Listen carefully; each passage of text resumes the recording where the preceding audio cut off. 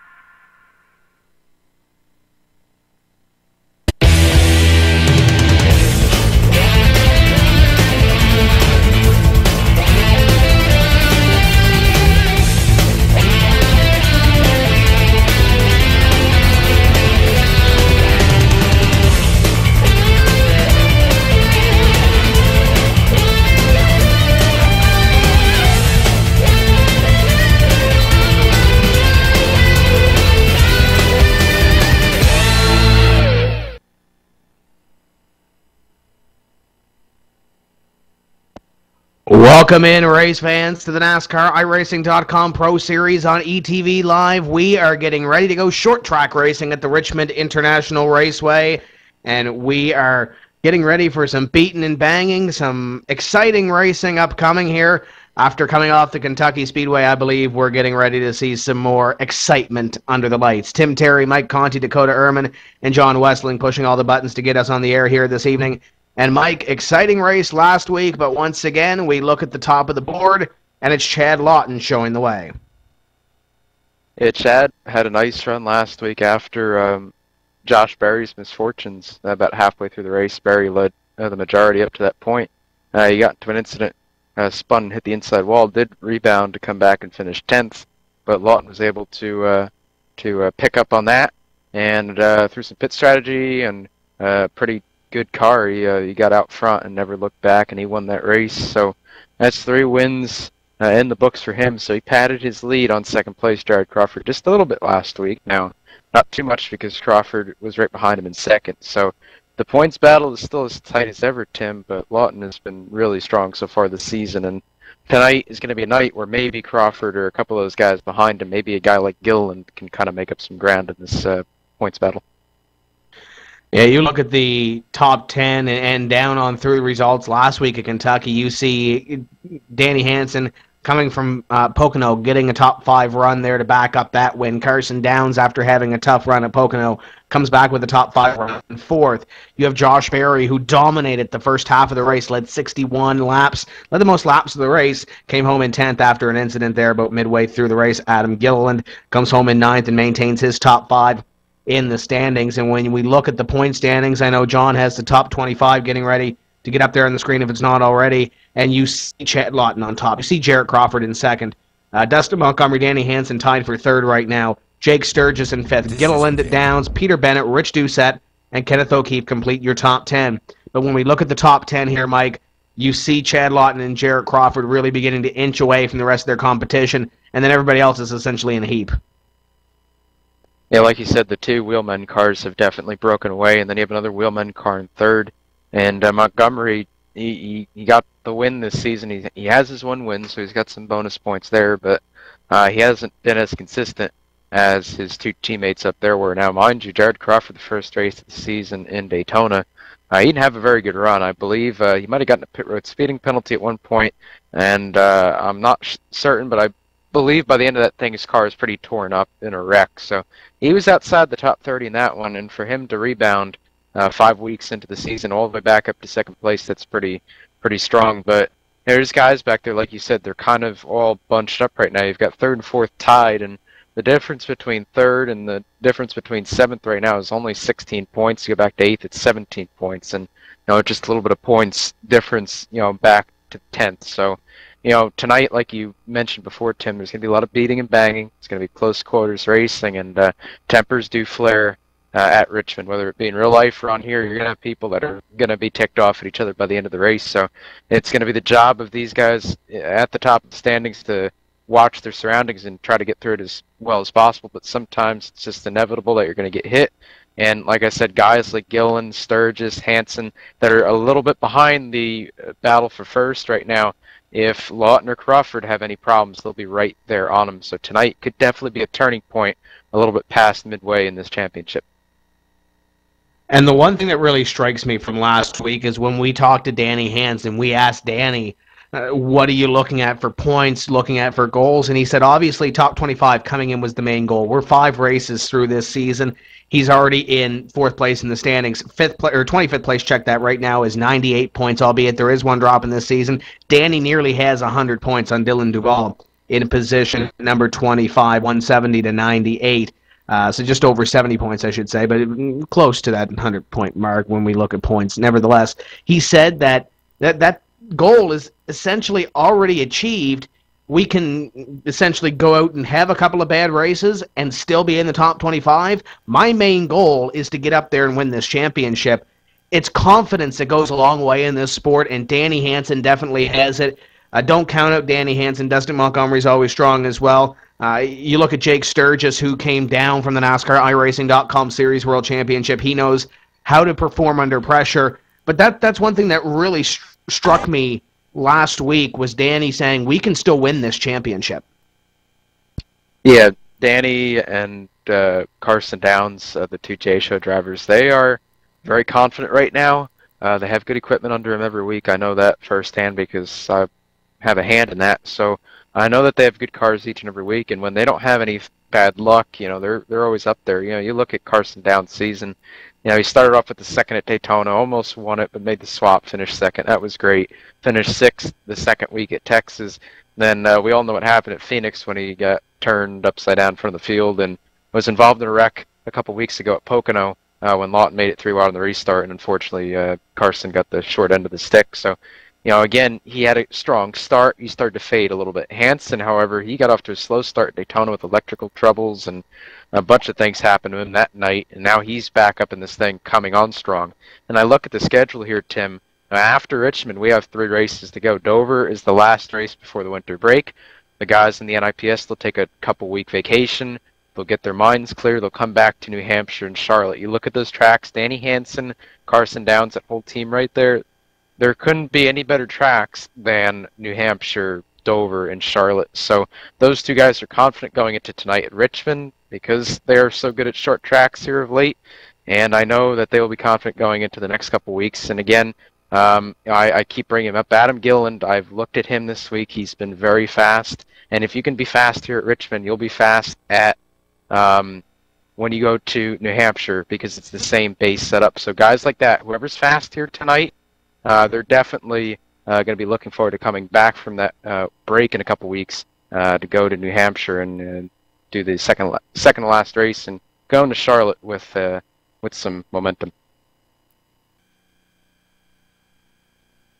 Let's bring in Dakota Erman down here on pit road and let's get started with the, the picks. And I, I guess he's uh, possibly stepped away a little bit here, Mike. Let's uh, let's talk about picks here, and I'm going to go first since uh, I, I think I'm the leader or something like that or close to it.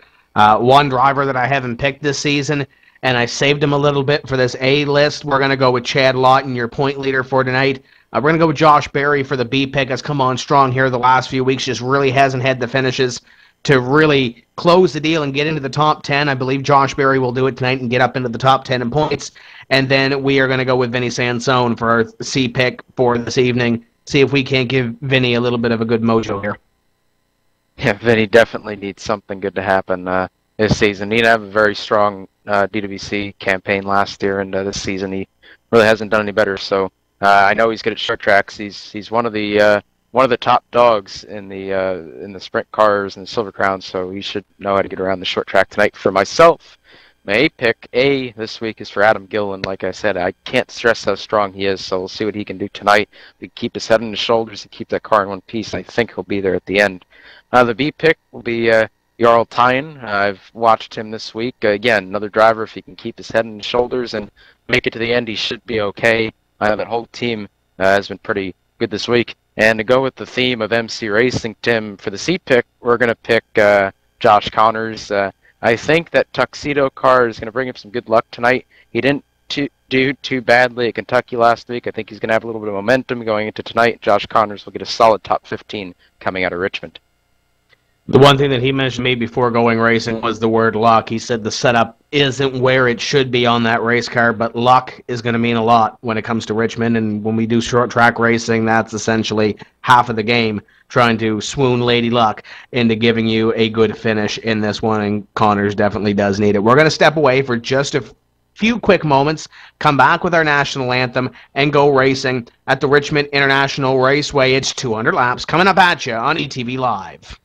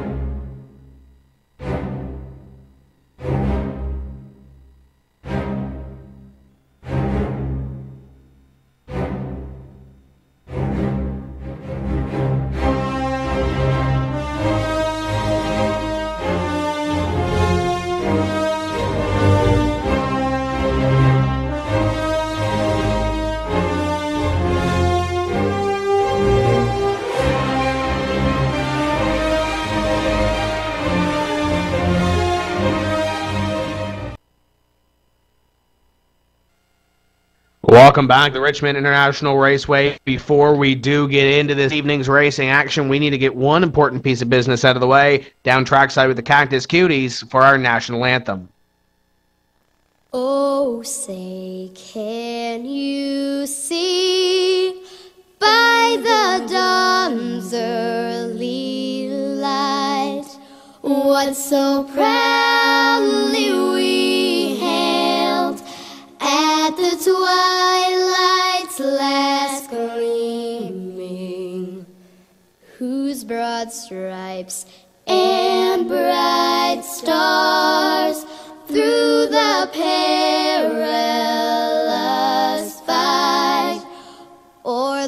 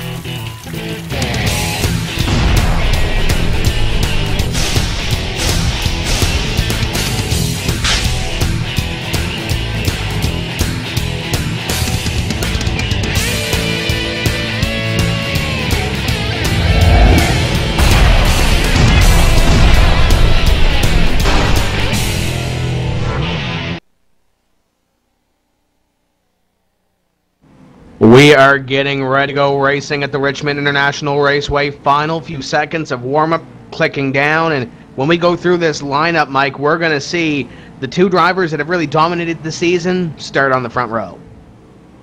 It looks like Wheelman definitely found the speed in qualifying this week, with the top three spots being uh, held down by their team. We're just gonna have to wait and see though if we can get some long green flag runs in tonight. Now these guys have been complaining about it all week, and I'm sure Dakota's heard about it as well. The tires uh, fall off really bad here. They get a lot of heat in the rear tires, and you start to slide around. So hot lap speed might not be everything this week, as uh, like I said, long runs uh, and long run setups might come in handy if we can get to that point. So I'll have to wait and see, but. Wheelman definitely looking strong. Danny Hansen in fourth, Kenneth O'Keefe fifth. So a lot of good cars up in the top five, and we look down through the top ten, and uh, a lot of good race cars uh, starting up front tonight.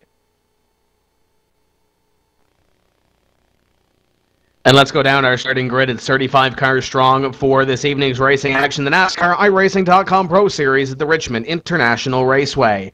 On the pole, it's the 83 of Jarrett Crawford, putting in a time of 19.826. To the outside, it's Chad Lawton, your point leader, 26.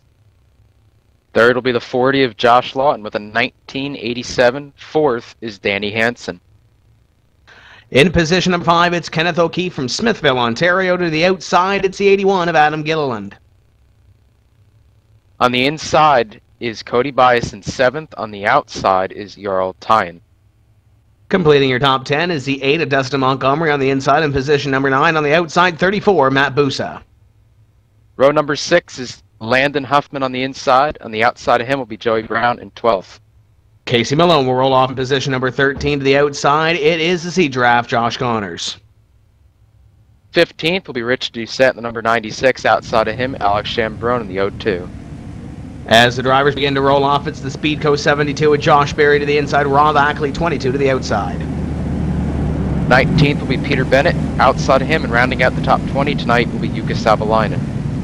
Brad Wright roll off 21st to the outside, 22nd, Dylan Duval. 23rd is Carson Downs, the 97. Outside of him is the 77 of Andrew Fayash third. Next up is Vinny Sansone in 25th, Brandon Cattell in the 14 to the outside.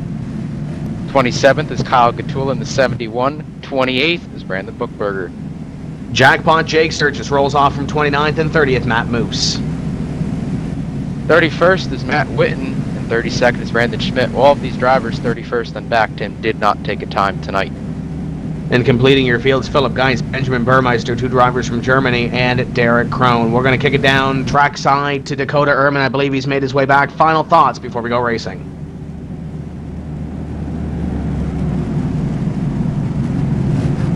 Well, I guess he's gone to the, the hot dog stand there in the infield, and I, I think you're going to need a good snack for this one because I think this one's going to be a very exciting race. 83 on the inside of Jarrett Crawford, going to get ready to put the hammer down for the first of 200 laps. It's a long way around here, Mike. What do you got to do to survive this thing? Uh, you just uh, you just got to stay out of the wrecks, Tim. That's really all there is to it. Keep the rear tires under you and stay out of the wrecks. Those are the two main goals here tonight.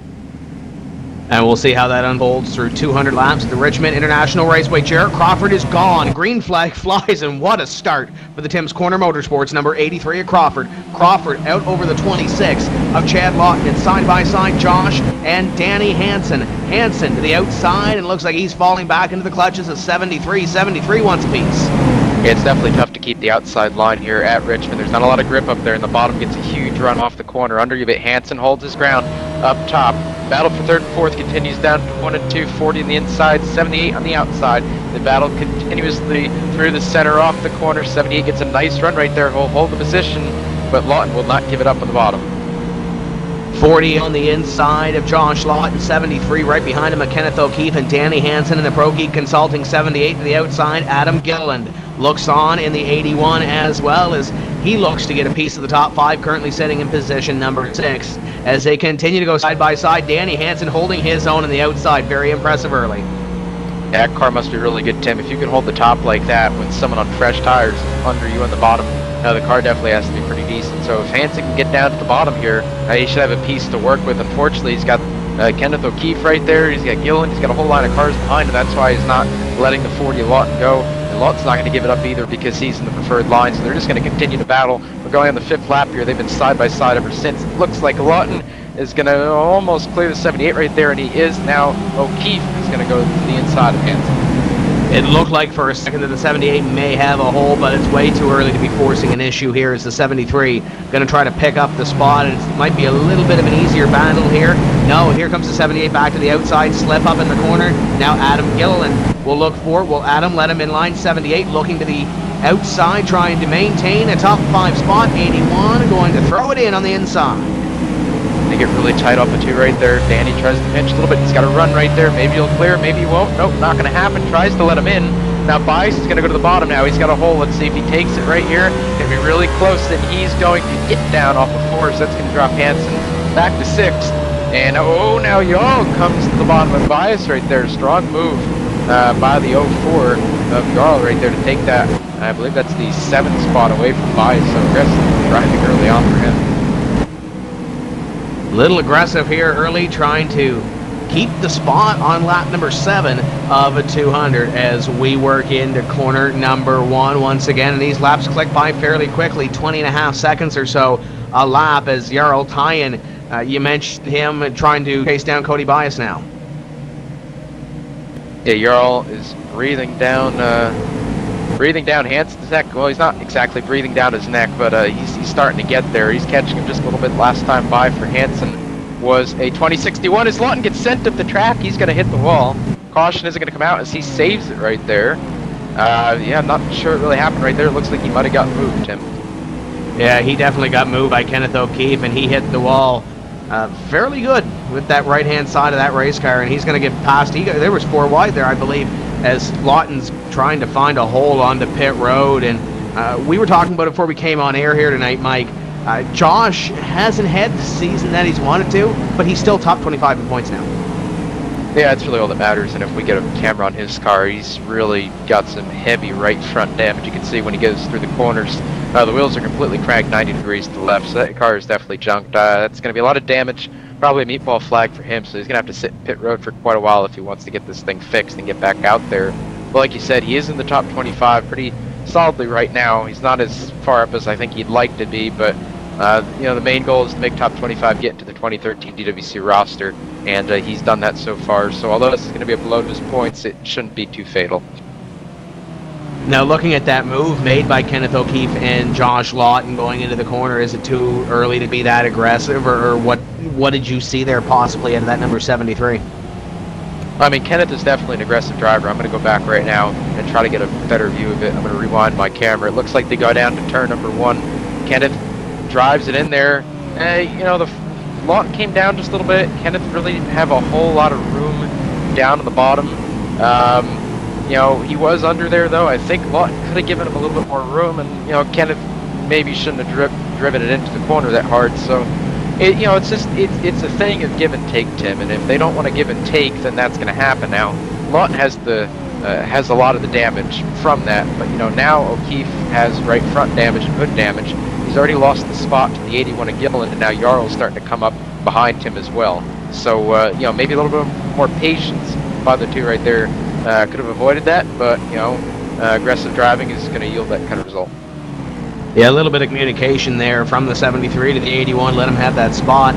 And now Gilliland is up there in position number three. And you mentioned Jarl Teien making the pass in the 78 of Danny Hansen. Hansen falls back to position number six, and Jarl will move up into the top five. So great run so far for one of our international drivers, the JDR Graphics Tim's Corner Motorsports 04, as he tries to march forward and tries to catch another one of our international drivers, Kenneth O'Keefe.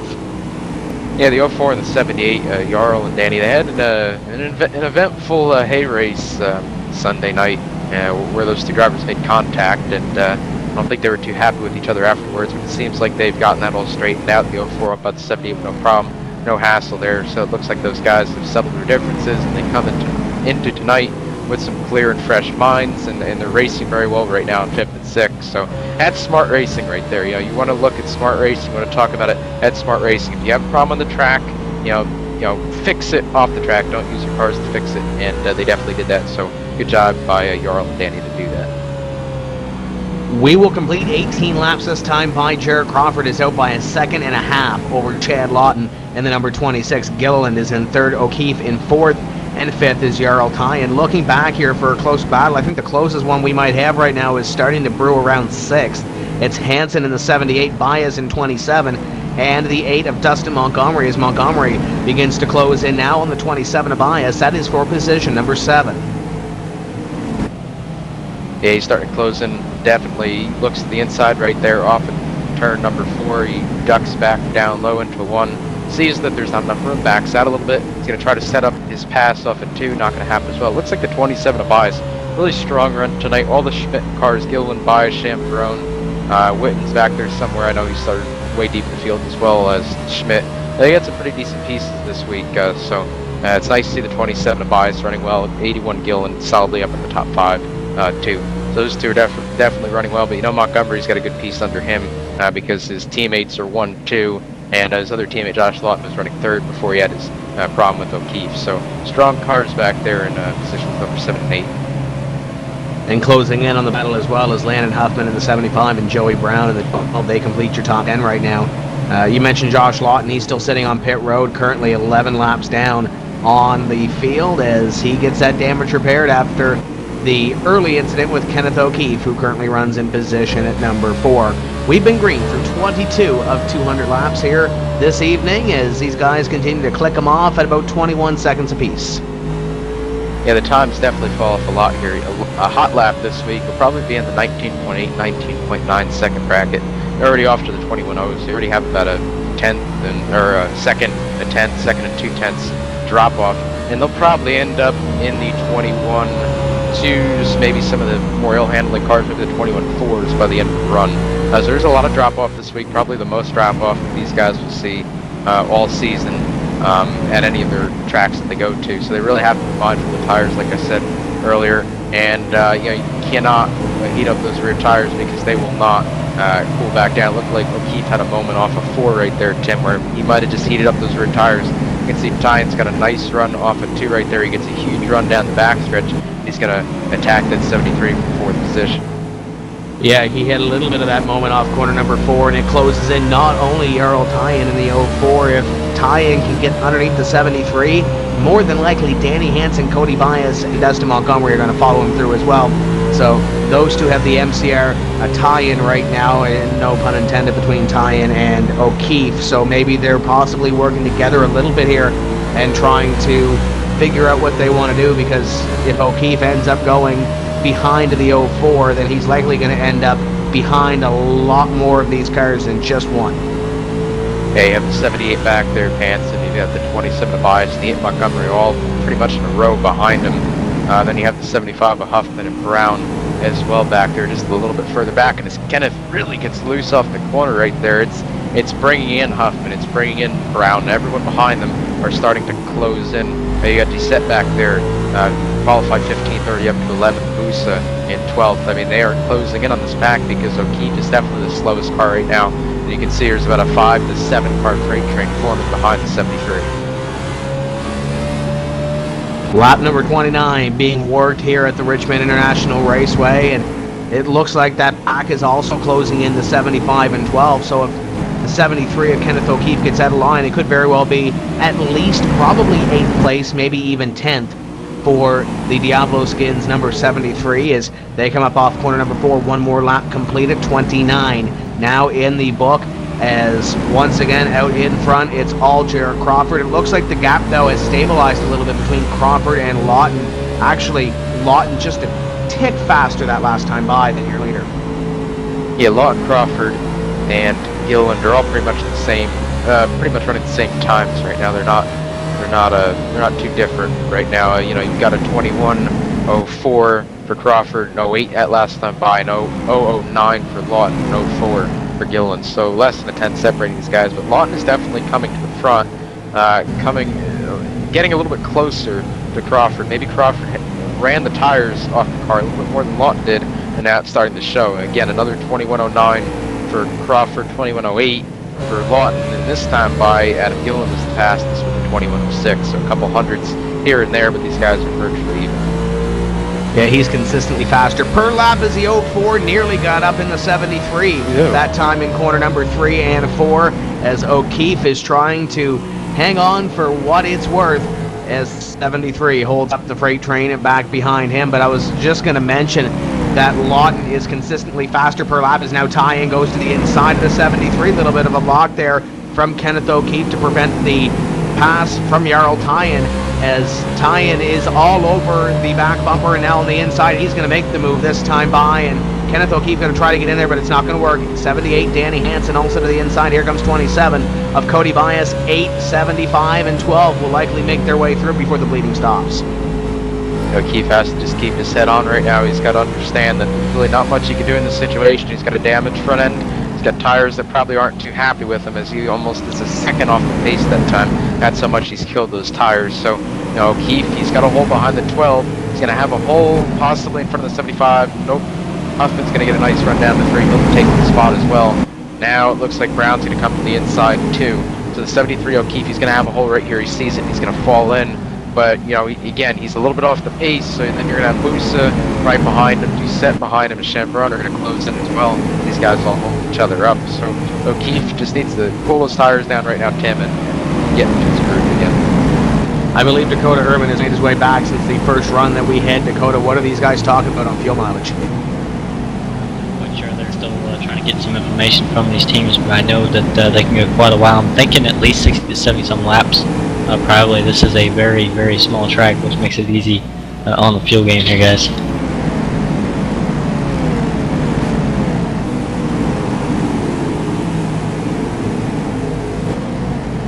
Good battle.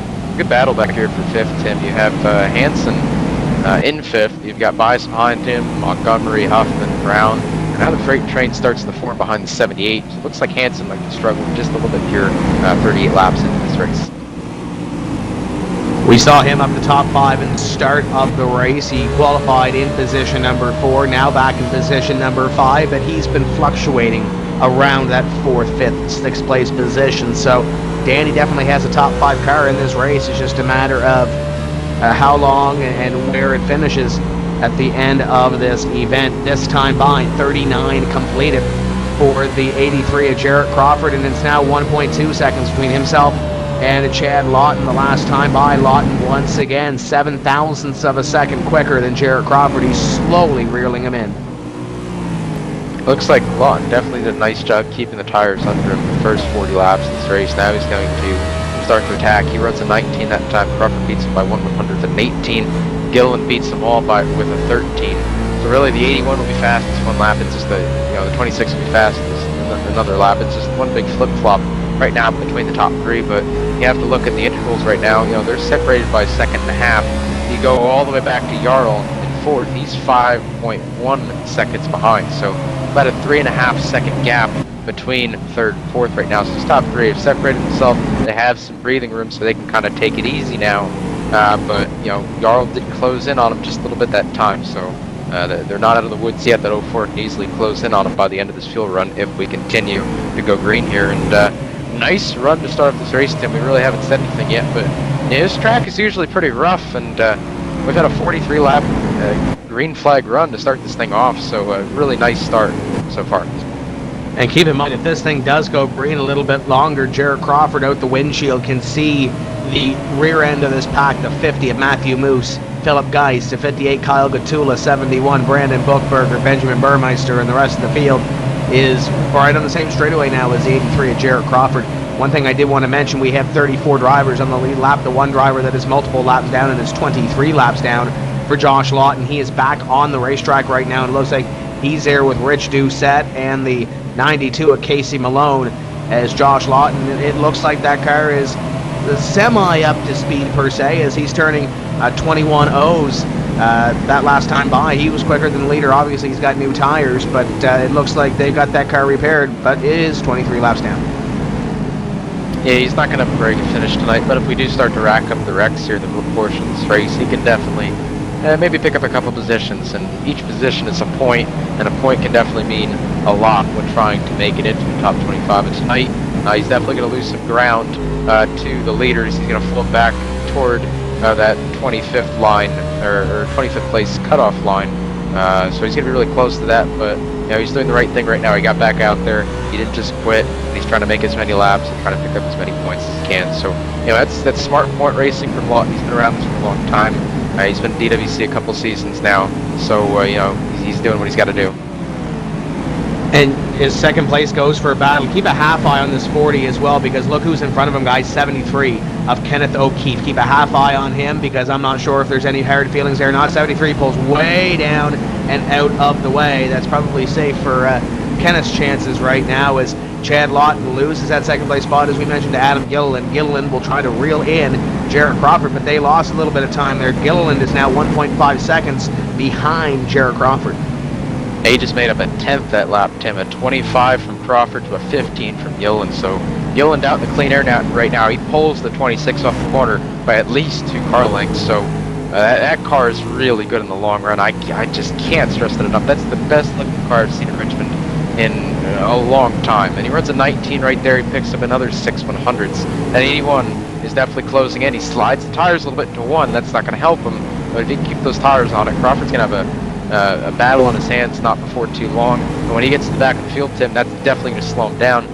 Matt Moose at the tail end of the lead lap right now just ran a 40, a 21.42. Leader is at a 21.29, so he's almost a couple tenths off. So that'll definitely hold up the 83 to the point where the 81, the 26, and possibly everyone behind him uh, catch him just a bit. We are one a quarter distance through this race. Lap 51 going to be completed this time by for Jared Crawford in the 83 Gilliland. Lawton, Teien, and Bias, your top five. Bias making his way up into the top five. Danny Hansen in the 78 falling back to position number seven behind Dustin Montgomery. Landon Huffman, Joey Brown, and Matt Busa. Your top 10. We mentioned Kenneth O'Keefe falling back. O'Keefe is back to position number 12, and he's got a hungry pack behind him. And look who's making his way through the field. 97 of Carson Downs. Downs right now in position number 15. He started back in 23rd. Seems like each and every week, 97 doesn't qualify quite as well as he needs to. Uh, but just some way, somehow, he's always really good in the long run and keeps the tires under that car. And now he's making his way to the front, almost inside the top, or actually, yeah, there he is in 15. So he's inside the top 15 from a 26th place starting spot, make that 14 as Doucette pulls over and lets him by. So 97 car coming in the front right now. Running times very comparable to the leader at this point. And your leader has a front row seat to the battle in front of him for about P33 right now as Geis and Bookberger and Moose go at it just in front of your leader. Bookberger going to fall back to position 34 as now he sees the leader, Jared Crawford, right behind him. Leader lapping cars under green, lap 55. I can't tell you the last time I've seen this, Tim. I don't know about you, but I don't normally see cars get lapped anymore, so this is this is pretty cool. So, uh, you know, now we're to have to see how well uh, Crawford can get through this traffic. It's kind of an art in itself, Tim, when you have to try to cut up the traffic and not lose too much time. And right now, Crawford is losing a lot of time. Last time by, he was two tenths slower than Adam Gillen. And Adam is almost, yeah, he's actually under a second now. 988 thousandths of a second behind him. Crawford slips way up the track. Gillen should cut another couple tenths out of that. Gillen will be at the leader's bumper uh, before too long. Now, if you're Jared Crawford in the 83, obviously the, the 17 of Brandon Bookberger is not going to roll over for you. Uh, obviously, you're trying to get that extra point for leading the most laps, but you have a little bit of a cushion. Do you possibly let Adam get up to you when he does get up to you, let's say, take that lead away and let him, per se, be the snowplow through the lap traffic and get through the traffic and just follow him through? You can either do that, which is pretty smart if you're racing um, to get in the top 25, but Crawford is second in points and got a little bit of a cushion both ways the points, so he can use the bumper right now. I mean, iRacing fixed the collision sphere so you can hit people, so yeah, 17 is two tenths slower a lap than he is. Uh, Crawford has every right in the world right now as Gilliland really closes in on him to kind of give him a little bit of a tap in the center of the corner. He hit him a little bit loose. Like right there, he's going to get a nice run. He should take it into three. Bookberger yields. That's how you do it. 17 goes up the track. 83 goes by. Here comes the 81 to take advantage of as well. So Gilliland will try to go underneath here Brandon Bookberger, and now he closes in once again on the 83 of Jarrett Crawford. Just a couple of laps ago, it was a second and a half, and now it is three tenths of a second. Three car lengths between your top two drivers, with Chad Lawton now 1.5 seconds behind your top two as they navigate traffic. Bookberger one lap down, and now next up on the list is Matthew Moose in the number 50. and coming into this week, Tim, it was uh, word was getting around that Matthew Moose might have bowed out of the Pro Series uh, or something. I guess on the on the incident sheet uh, that people were telling me about that uh, it pretty much said that the 50 car would not be running the rest of the season. Obviously, that was a misunderstanding or maybe Matt changed his mind. But uh, Moose is here tonight, uh, not running all that well. As oh, it's going to get real close right there. 58 at Geisen and Moose, they're just trying to stand the lead lap, but Moose is definitely here, and he's not here to play around. He almost gave the 58 the bumper in one and two. And now the 83 is right up on this battle with the 50 of Matthew Moose and the 58 of Philip Geis. That is the battle for 32nd, I believe, on this racetrack here. Indeed, 32nd, 50 moves underneath the 58 now. Does the 83 try to stick his nose in there and put the 58 to the rears? Oh, 83 There he up comes. to the back bumper. Are we going to go three wide here? Oh, he thought about it. Matthew Moose and the 50 going to pick up one spot, the 83 of Crawford, he's got to watch that rear view. Yeah, I mean, on new tires, Crawford could have made that work, but on old tires right now, you just really do not know if the car is going to stick into the corner, and it's smart for Crawford not to do that. Crawford is driving smart like he always does, and he's really being cautious, and Gilliland is giving him room to do that as well. Uh, but, you know, I look at the intervals again right here. Jarl was 5.3 seconds behind about 15 laps ago. Now he's 3.3 seconds behind. Everyone else in the field that isn't affected by lap traffic has really picked up at least two seconds in these leaders. So, you know, Crawford is being smart right now, but if he doesn't watch out, he's going to have another couple cars added, added to the 81, added to the 26 that are going to be on his bumper. And he gets past Matthew Moose here. I believe he's going to have about two seconds in time between the next driver up, which is now Matt Witten, as he battles with Kyle Gatula and Matt Moose. So there's going to be a little bit of time there between the 83 and the eight, or the 83 and the next lap car, but that's when he gets past the number 50 of Matthew Moose. Of course, Moose is trying to stay on the lead lap to get possibly the uh, don't doesn't want to be the lucky dog because if we do see some green flag pit stops here, it could be interesting as the 50 gets up into the wall, 83 to the Whoa. inside, 81 going to follow him down, and they will put the 50 one lap back. I thought Gillen was going to get into the left door of uh, Moose right there. Got really close. I'm not sure what's going on there, but he does get around him cleanly, as does the 83 as well. So they pull ahead of the lap traffic. Lawton still uh, kind of hung up in it now. Now Chad's got to deal with these guys. He's going to go under Geis, possibly into turn one. Geis gives him the line. Nope, closes the doors. So Lawton in third, starting to get held up now. He just lost the tenth of a second that time. And if he doesn't get around the 58 and 50 soon, he's going to lose a lot more. Keep a half eye on this battle for the lead. Adam Gilliland is there within a car length on the 83 at Jarrett Crawford down the front straightaway. 68 laps completed here, all under the green flag as the 81 looks at the 83 for the lead position. In front of these leaders, about a second and a half is the battle for position number 31. It's Kyle Gatula and the 69, and Matt. They're going at it for that spot. Yeah, they certainly are. It's always fun to watch the uh, watch the battles. You know, right before the leader's about to get to him, you see these guys drive as hard as they can. Change for the lead. Adam Gilliland now takes the lead away from the 83, 70 laps into this race. So, Tim, new leader. Let's see if the 81 can start to pull away, or let's see if he'll get held up in traffic as well. Now, what we've seen in the first five races is Adam Gilliland's a little more aggressive than Jarrett Crawford. Does he maybe use a little bit more of that aggression out on these lap cars when he gets to them? Well, we're just gonna have to wait and see, but I wouldn't put it past him. Uh, you know, Gilliland is not going to sit behind you too long if you're in his way. He will move you, or he'll he'll do something to get around you. I'm not saying he's going to wreck anyone. Don't get me wrong. Gilliland's a very good driver. He's very talented. He's very fast. I mean, at a track where you have to conserve tires, as Gatula gets the wall in front of him, at a track where you have to conserve tires and keep your stuff on it, Gilliland is shining.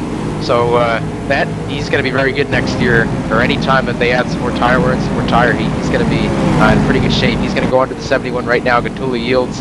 He'll clear him. Crawford will not. Crawford's going to lose another couple tenths in that corner as the 71 takes his line away. So Gilliland really showing what he's got tonight. And if he can do this tonight, he'll be very strong next year in DWC. So Gilliland sees the 71 roll over for uh, Matt Witten, and the number 69 is next up on the list as the 71 rolls over for the 83 of Jarrett Crawford.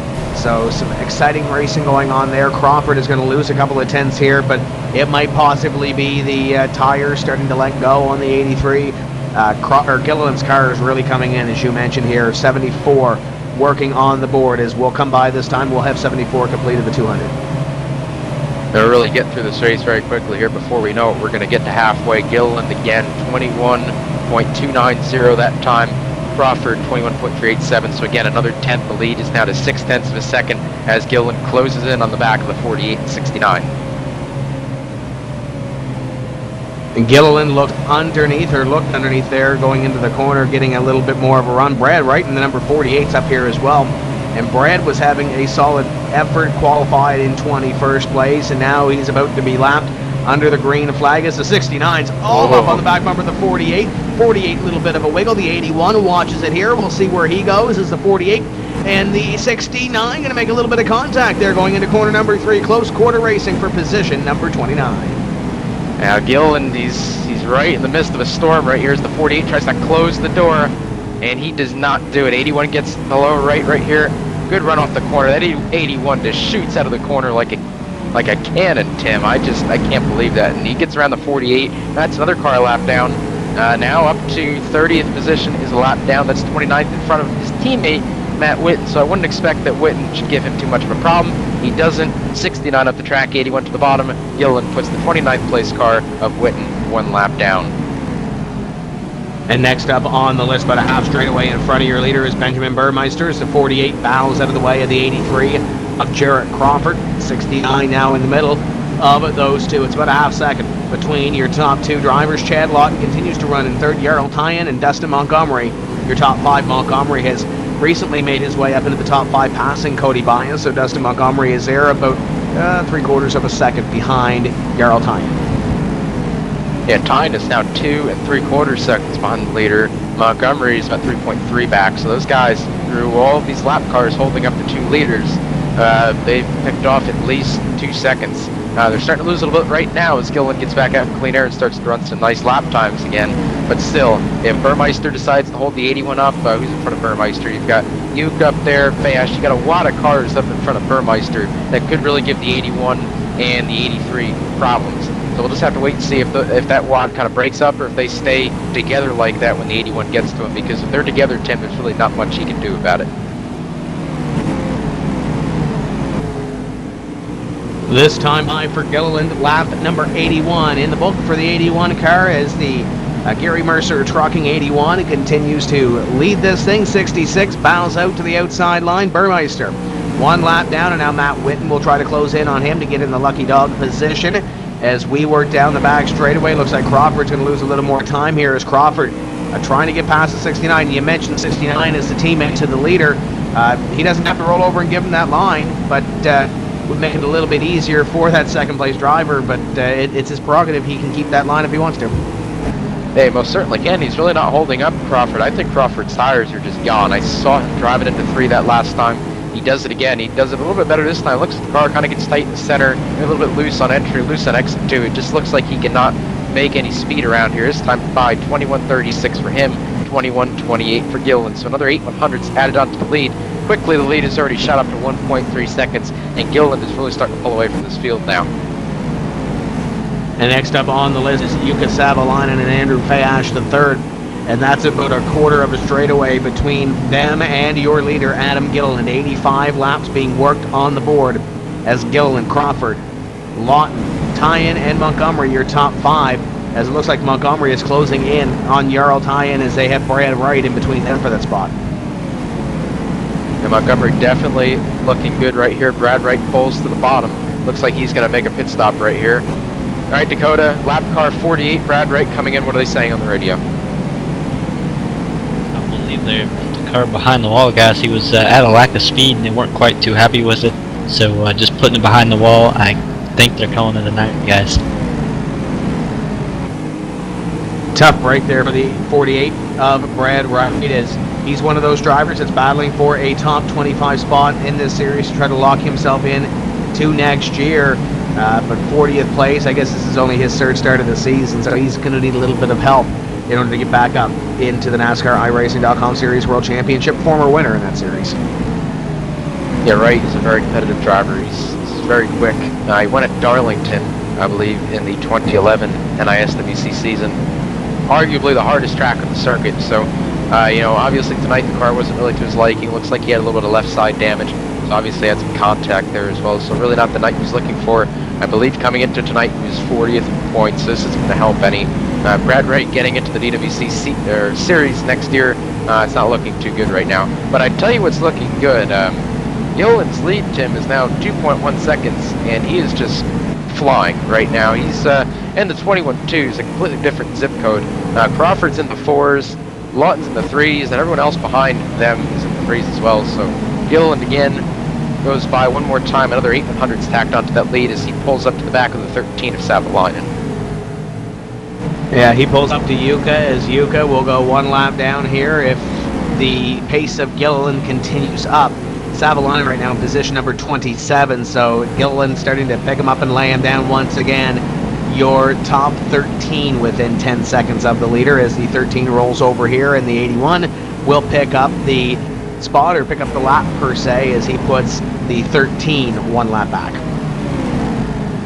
Yeah, so again, that's 26 cars are going to be now in the lead lap. That's Andrew Fayash directly in front of him, about a half a second up. So, you know, again, you know, not a lot of cars going a lap down. Uh, I haven't seen pit stops yet. I believe the fuel window should be around 100 to 115 laps.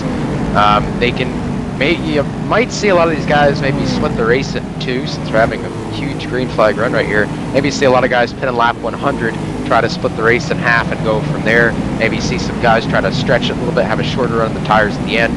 I'm not sure, but you know Gilliland is going to wait as long as possible to pit. Maybe guys like Peter Bennett, uh, you know, guys like Connors, who's back there 24th, Brandon Schmidt in 23rd, Kenneth O'Keefe, who's damaged and off the pace in 22nd. You might see them short pit a little bit early, uh, get the tires under their under their cars, and try to make up some time in the leader while they can.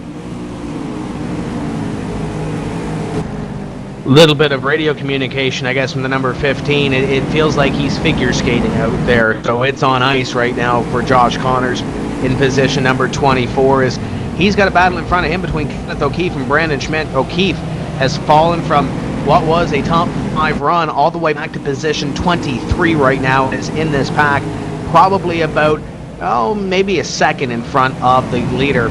As it looks like uh, we may have had Chad Lawton miss pit road last time by. I'm not sure if he missed pit road or he he uh, yeah he did miss pit road. He's got some rear end damage. I don't know where he got that from. Um, oh, looks like someone might have clipped him, Tim. Yeah, when he's trying to come in, it looks like Jarl uh, clipped him, and now he's finally made it to pit road, Dakota. Yeah, guys, a lot of trouble getting on pit road last time by, but he should be good on fuel from here coming down. Going to be a four-tire stop. I do believe I see Dylan DeVall also down on pit road, just trying to come in as soon as he could, get four tires. Everybody coming down for four tires. The tires are almost dead on these cars. They've been out here for a long time, guys. They should be getting on fuel, like I said, from here. As Gillen pulls up to the back of the 31 of Bennett, Bennett has damage all over the place. Tim, he's got roof damage. Um, uh, we might have missed the car flipping, but we didn't have a caution, so I'm not really sure. It looks like he just got pounded in the left side door. Uh, so 31's night really hasn't been too good so far. He's going to go a lap down. That makes it 22 cars in lead lap. Josh Connors, who's figure skating right now, is the last car in the lead lap. Lawton pulls out onto the track in front of your leader, Adam Gilliland. He should be two laps down, if I'm not mistaken. But he's on fresh tires, so he's going to make up a lot of time for uh, some laps here. Yeah, give him one lap, and we'll see what the difference is as Joey Brown comes off pit road in the 12 as well. We'll give him a lap here to really get up to speed, and we'll see how different the tires are now. Keep in mind he's in lap traffic, but look at Chad Lawton slice through this lap traffic. 73, going to be on the outside this time. Now, mind you, he's in traffic. It's a 20.6. Adam Gillen last time by 21.3. Jared Crawford also came down. Matt boosted down and away. Joey Brown down and away. Kenneth O'Keefe way off the pace. He just pulls over. You can see Brown right behind the leader right now. Looks like Gillen's going to come in this time. He's coming in hot, Dakota. Not too many changes in that car, I don't believe. Actually, you are exactly correct. No changes to that car. Very happy with it. Four tires and fuel. Like, call. he is good on fuel. The only reason he's pitting just a little early is because Jerry Crawford coming down around 97. And Jerry Crawford looking to get the lead, uh, pitting just a little bit earlier and Adam Gillen. Gillen trying not to let that happen. Not quite as fast in the long run or short run, but he does know he has something for him in the long run, guys. It looks like Cody Bias' teammates also down Dakota. Landon Huffman, Rob Ackley down the way. Kenneth O'Keefe is really slow down pit road. Not sure what's going down uh, on down there. We have a lead change. Tim is telling me Montgomery around Teien. Montgomery will come around this time by and pick up a bonus point for leading Tim. Yeah, I'm sure he'll stay out that one extra lap and get that bonus point for leading. Jarl Teien will also stay out as well as Fayash is in the three is on pit road. Peter Bennett's on pit road. Busy place down there. Very busy place down here, guys. Is uh, I'm watching Andrew Face third coming down. He's getting four tires of fuel. Everybody getting four tires of fuel. Uh, hard to keep up with everybody here, but uh, I'm seeing Peter Bennett, Carson Downs uh, here and uh, Teien in the wall here. Yeah, you got a little bit of wall glue. Oh, someone just spun into pit road. Uh, eight, Montgomery misses pit road like his teammate did. Teien um, got the wall down the backstretch. He's okay though. 78 Hansen down the way. He comes back up onto the track. Downs away. That was Vinny, Tim is telling me, in the fence right there. So I believe uh, that was your C pick who was just in the fence. So that's not good for you tonight. Not good for him either, actually. Not only in the fence, he was in the pit barrels with the passenger side of that race car as well as you mentioned Dustin Montgomery missed pit road the last time. He is now down on pit road to get service to the TDH delivery number eight Dakota. No, guys, the brake bias is a, not quite where he thought it was when he came down pit road. Just got the brakes just a little too hard. And uh, the thing about these cars is they seem really easy when you get on the brakes very hard. Coming down four tires of fuel, going to assess the damage on the car, being as he did spin it, or, spin it out. I think they hit a wall, possibly. Uh, is Dustin Montgomery getting the right sides down, left side's going up, guys. And right now you've got Jarl on the track all by himself. The only other two cars that haven't pitted just yet uh, are, or actually one car is Jake Sturgis, 4.7 seconds behind. Jarl's tires are gone. Tim last time by was a 21.75 three second lap. Cars behind him like Rob Ackley, who we haven't seen all night, is at a 20.54 as he hits him off the corner. His time's gonna come down pit road right now. He's really slow. He's out of gas, I think. He's going to be out of fuel. Yarrow Ryan going to come down on the pit road, and this is huge. He was up in the top five before this round of green flag pit stop started. I'm not sure why you would gamble that much, especially if you're up in the top five and you are as fast as the leaders. As Jake Sturgis is down on pit road, Sturgis is under power. Yarrow Teien is not Dakota. Yeah, Yarrow Teien really had a fuel. He uh, he said he was he thought he had more in it than what he did uh, when he kind of stumbled. As he's not even gonna make it to his stall, guys. He's eight miles per hour going down here, really getting slowed up, uh, not getting any help getting a pit road either.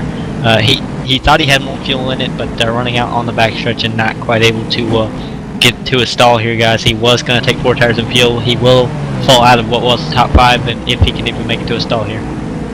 Really needs to get Kenneth O'Keefe, his teammate, who's four laps down, to come down there and push him. I believe Tim. Uh, he's a couple spot, a couple stalls away. He might make it. He's coasting consistently at seven miles per hour. He will make it, but he's going to lose a lot of time this way. So that top five run he had before is now gone. And that will cycle through our first round of green flag pit stops. And I say first round because if these guys continue the way they are, we might not see a caution here this evening. Adam Gilliland is your leader by 1.3 seconds over Jarrett Crawford, Chad Lawton in position number three. Joey Brown and Cody Bias complete your top five as Brown picks up a bunch of time on pit road. Lawton doesn't lose. He loses a little bit of time on the racetrack, but doesn't lose any spots on the racetrack. And looking back for Dustin Montgomery, he's going to be back in position number eight, 10 seconds behind your leader, Adam Gilliland, after missing pit road. Now we only have 19 on the lead lap. And uh, the last car in the lead lap is Ackley. Uh, he's two cars in the racetrack ahead of Gilliland, but he's about three tenths slower. So Gilliland is really going to make up a lot of time on him uh, really, really quick. Gilliland is the fastest car on the racetrack most of the time.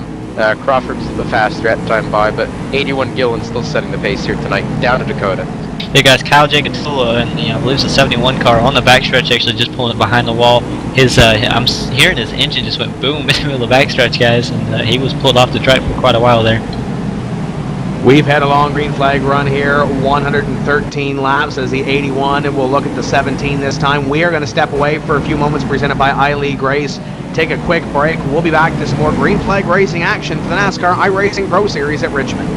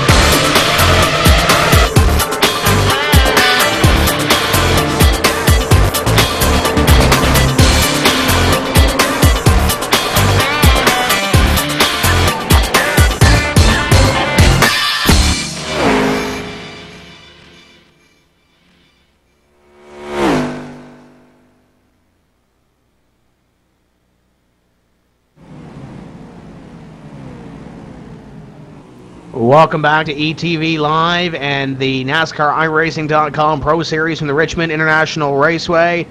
Still under green since we dropped the green silk 124 laps ago. Adam Gilliland remains your leader with Jarrett Crawford in position number two, 1.7 seconds back. Then it's 5.8 back to Chad Lawton, Cody Bias, and Landon Huffman complete your top five with Brown, Montgomery, Busa, Malone, and Barry completing your top 10. 124 in the book.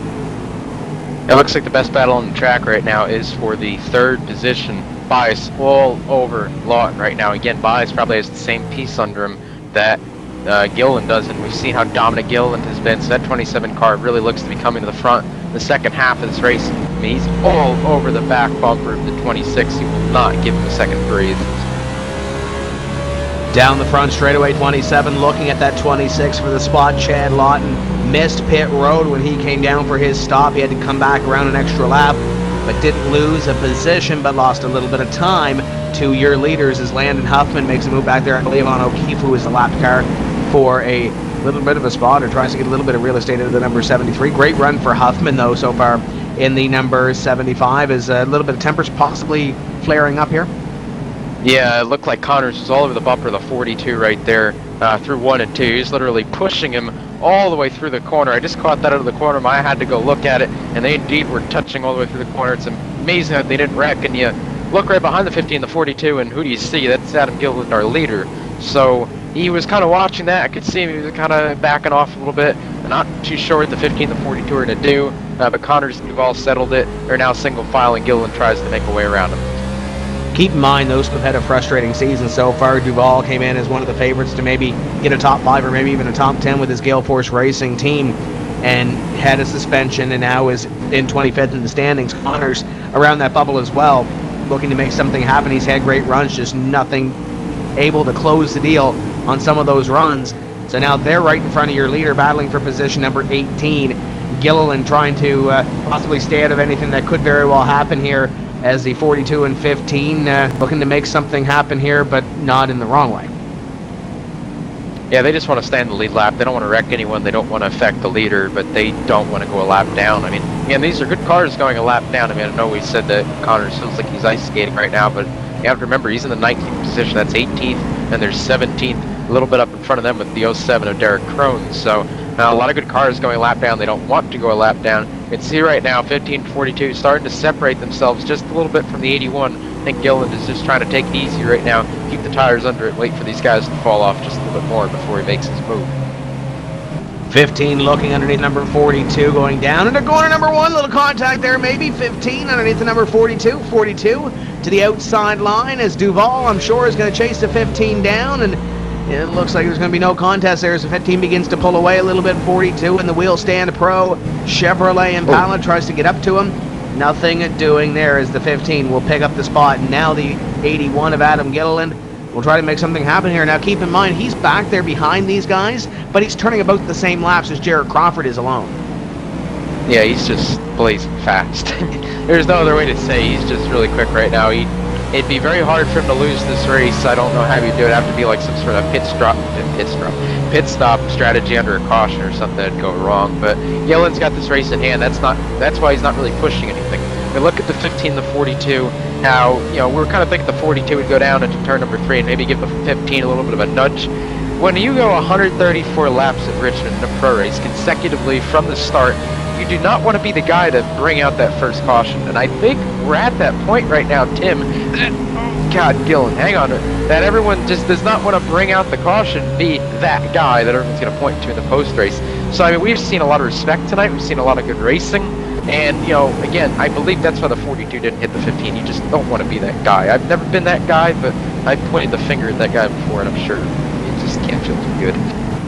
Yeah, we're over half the race now without a caution. 136 for your leader, Adam Gilliland, as he chases down Matthew Moose. I believe this will be number two for Matthew Moose. Moose goes the second lap down. He currently sits in position number 28. Everybody that started this race, with the exception of Kyle Tula and Brad Wright, are still on the racetrack. Josh Lawton is out here 23 laps down, looking for something to happen. Maybe pick up a couple of points if he can on the rest of the field as he said one of those seasons is, oh, Duval nearly loses it in front of a pack.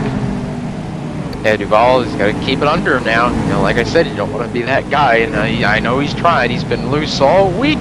God, he's getting loose. He's been loose all week, and it's no different tonight. He sends it in on the 50. He's going to get a little bit loose. Everyone's getting loose. See the tail end of the 22 step out there as well. He's going to clear Moose. Moose gives him the line, and now Duval has some clean air. He can now pull those tires off, hopefully, and not uh, loop that thing around. He, you know, Duval is a very good driver, and he's showing it tonight. Now, although those tires aren't doing what he needs them to do, he's just hanging on for dear life right now, and I give him a lot of credit for that. It's not as easy as it looks. 50 going to fall back in behind the 17 of Brandon Bookberger. That's actually a battle for position 17 and 50 at position 28 as Bookberger will pick up that spot. And keep in mind, these guys went about 90 laps or so, 100 laps thereabout on the fuel and the tires. Those guys may be pacing themselves in the first half of the race. Do we see these guys going a little bit harder, maybe using up their stuff a little bit earlier, thinking that there might be a caution, let's say before 150? No, I'm not really sure. It just I, I, I don't really know. I think everyone's been going decently hard right now. The, all, the whole race, though, we saw aggressive driving on lap, I believe it was like five or something when. Oh God! Oh, Duval up the track. He's gonna save it. Yeah, that was close. Ackley and Duval almost had a moment right there. Well, they did have a moment, uh, but Duval was able to hold on to it. Duval has just really got to get out of the way right now. He's loose. He's kind of in the way. Uh, now he's behind Crawford, so that's good for Crawford to get around him. Uh, but really, really, really close to having a problem right there uh, when the 22 got in the 42's left rear. Like I was saying, though, these guys are going hard. You can see it right there. You can see it when O'Keefe got to the back of Lawton. Uh, we've seen it this whole race that these guys are going hard. I don't really think anyone's holding anything back at this point. If they are, I don't think they've got much left in the tank. I want to shed a light on the 97 and 13 as Jukka Savolainen is a lap down and he's up here with a bunch of other drivers that are a lap down. Some of them are on the lead lap. The 97 of Carson Downs is 10th place right now. Josh Berry, who's at the rear of this little pack here, is on the lead lap, as is Jake Sturgis in the 41. Sturgis is going to look underneath the number 66 of Benjamin Burmeister to try to get closer to Carson Downs in a top 10 finish in this race. But uh, there's little packs throughout this field that are, are getting pretty exciting right now. Yeah, they certainly are. You know, you go back to that pack. Uh, you go back to Matt Busa, uh, the battle for eighth place. Um, you've got him just a little bit in front of the 92 of Malone. Then about a half a second behind him is Carson Downs, who's closing in pretty quickly right now. He's a tenth quicker than the two in front of him. Then you go look at look back at Josh Berry. He's in the pack right now, a little bit slower, about a tenth and a half off. So a lot of guys running at a lot of different times right now. Like I said, we have a lot of packs forming. We have a great race brewing right now for the eighth positions. The 92 and the 97 continue to move in on Boost in the 34. That's a great battle as Josh Connors goes one lap down to Adam Gilliland. 17 on the lead lap right now is 34, 92, 97. That's probably the closest battle on the racetrack right now for a position as Matt Busa looking for a good run here in position number 8 as we work lap 146 of 200. And just to give you an update later, it's now a 2.918 second lead. It grew about a second last 20 laps, so Gillen continues to pull away, nothing new up there. Chad Lawton continues to hold down the third place, so Brandon Schmidt the wall off at two. Pancaked it really hard right there. That's going to knock in the toe. He'll keep it going, though. Fi is still all over the 26, 26 and 27. Continue to stick right together. Behind them in fifth, good run by Landon Huffman, the uh, the RSR champion, uh, which ETV covers here. I believe it was every Monday night. The RSR League uh, goes on here on ETV. I know they'll be starting their season up uh, sometime in the next couple months, so look for that here on ETV Live. But he had a championship in that. He's running top five right now. Has a solid spot in the Pro Series standings right now and is looking to get into the 2013 NISWC roster. If he can, if he can continue this run tonight and have a solid run next week, he should almost virtually be locked in. So Huffman uh, knows a lot of good things are coming if he can hold it together. Dustin Montgomery, who missed pit road, Tim, he's all the way back up to the sixth position. Uh, Joey Brown a little bit further back at the 12th. Good run by him. He's improved that car a lot over the week. I saw him Thursday. He wasn't too happy with that car. You can just tell by that how that thing was driving the track. Really, really loose. It looks like he's gotten that thing a lot better in the last couple days. Behind him, got the lap car Vanford Fashion 23rd. Matt Busa the 34 still holds 8th. But now, we look back here, 8th, 9th, and 10th, the tail end of the top 10, Tim, 34, 92, 97. They are all together with the 41 joining in as well. Yeah, there's two close battles within the top 10 right now. It's the 8th, 9th, and 10th battle that you see Matt Busa, Casey Malone, and Carson Downs. and keep a half eye as well on Chad Lawton and Cody Bias. They've been running nose to tail right now for, well, about 51 laps or so since the pit stops happened about 50 laps ago. So that might not be as much of a battle as this battle is here between Busa, Malone, and Downs, as Downs has run down your eighth and ninth place drivers, and now Andrew Fayash, the third, just in front. Casey Malone going to flash the bumper on the inside of the number 34. Nearly a moment there between those three drivers as the 92 of Malone looks at the 34 for position number eight. Yeah, you can see they all got really excited right there. Uh, the, uh, Downs and Malone, they saw the 34 get a little bit high right there. So they gassed it up really hard off the corner. and Both got the tail end hanging out. That's why I said these guys are not holding anything back. We are within 50 laps to go. It is time to go.